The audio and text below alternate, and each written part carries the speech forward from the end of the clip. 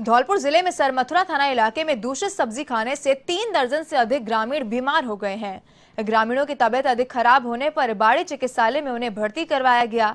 दरअसल आपको बता दें कि खोखला गाँव निवासी खाशीराम मीणा के घर पर सामूहिक भोज का आयोजन किया गया, जहाँ ग्रामीणों के खाना खाने के बाद पेट में दर्द, उल्टी और दस्त की शिकायत होने लगी, जिसमें करीब तीन दर्जन से अधिक महिला, पुरुष और बच्चों को भर्ती करवाया गया।